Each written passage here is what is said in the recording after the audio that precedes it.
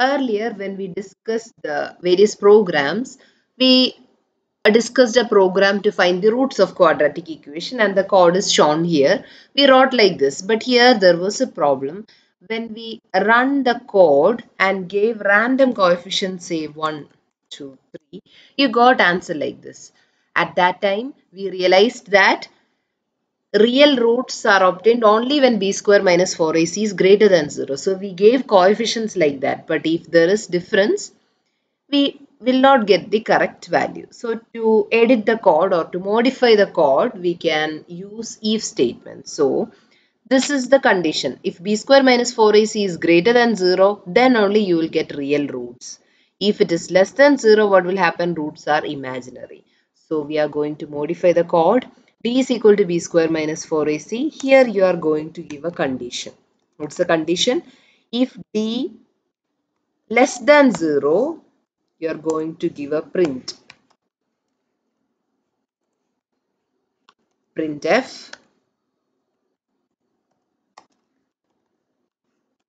roots are imaginary and not real.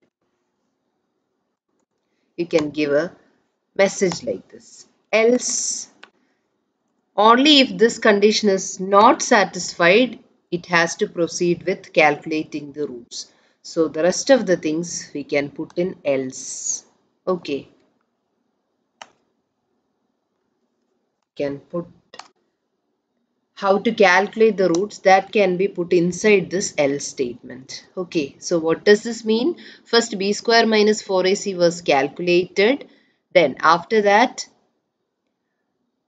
if d is less than 0, you just print roots are imaginary. Else, else means d is greater than or equal to 0. If that be the case, uh, square root of d is calculated and then roots are calculated and roots are printed. Now let's execute the code. So now if you give 1, 2, 3, roots are imaginary and not real. Okay, now if you want to uh, get the roots like if b square minus 4 is greater than 0, you can give like 1, 6, 2. Now you got the real values. Okay, so now we modified the code such that it makes more sense. Otherwise, when we give coefficient such that when discriminant or b square minus 4ac is less than 0 what will happen? You will get a wrong answer. So to avoid that now you use if else statement. And now the program to calculate the roots of quadratic equation is, is uh, the correct one. Okay. Now let's discuss another program say to find the quadrant. Let's write the program to find the a point is in which quadrant? Say point coordinate let it be x and y. If x y both are positive it is first quadrant. Okay? It will be first quadrant. Then second quadrant hope you remember this. Okay? So here x so here both x y positive. Okay? Here x is negative y is positive. So this is second quadrant.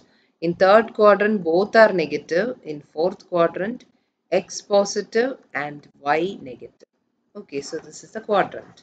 So now we are going to write a program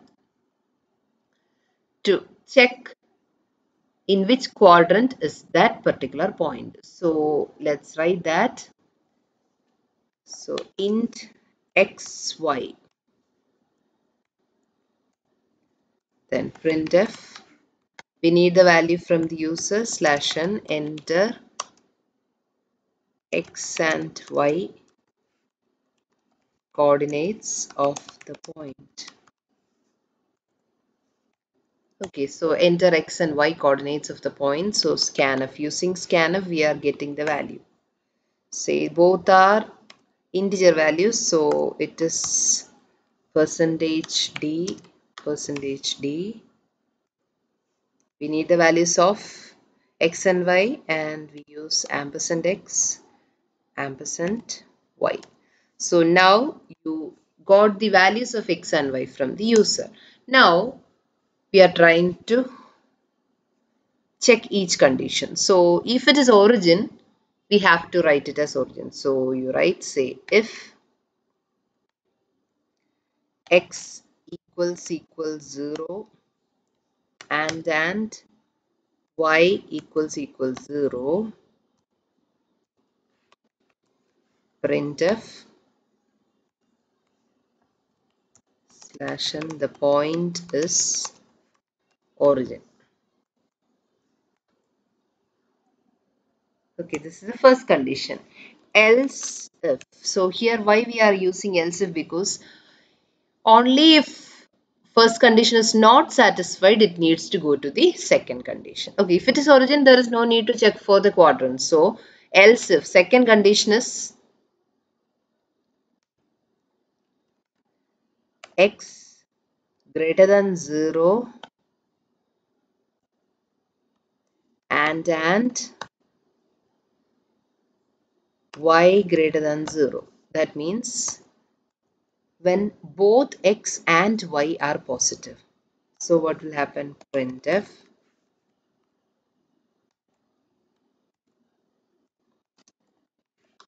point is in first quadrant. So if both are positive, we can say that it is in first quadrant.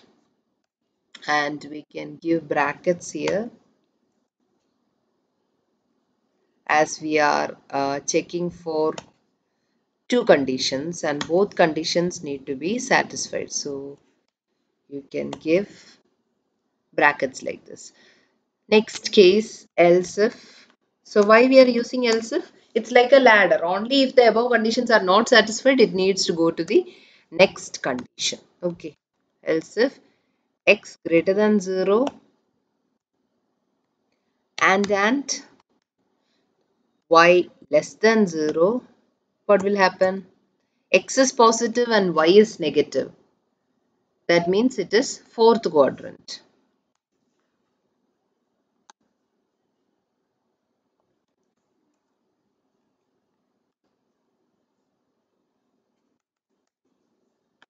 it is in fourth quadrant else if x less than 0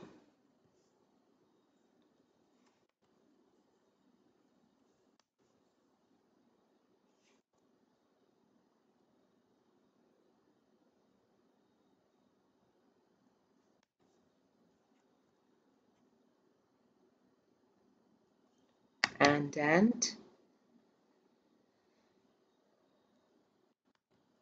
y greater than 0. So this means x is negative and y is positive. That is second quadrant.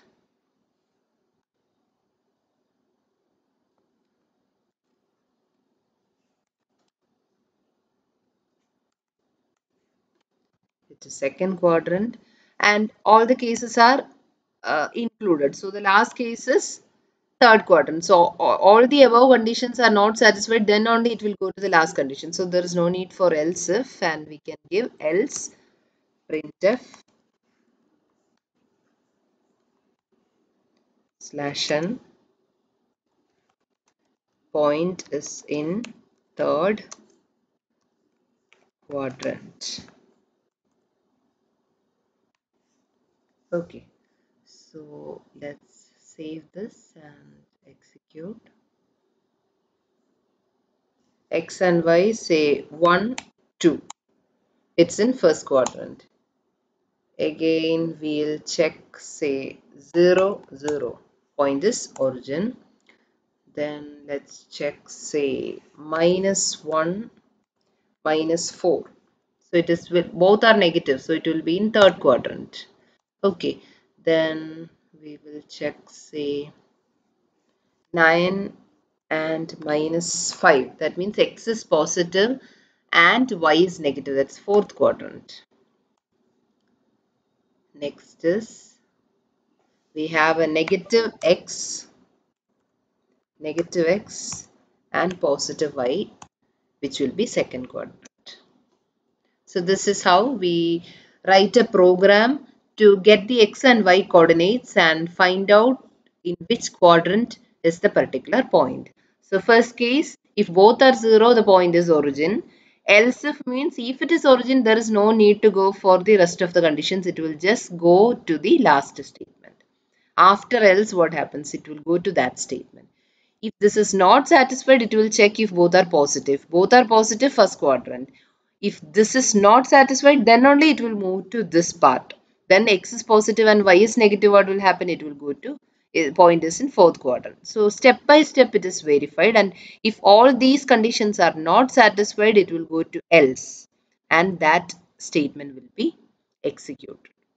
So this is a simple example program using if else if and you remember else and if there is a space in between okay and when we use if else if the last statement should be else a default statement should be given for else. That is if the above conditions are not satisfied we should give a provision so that is given with else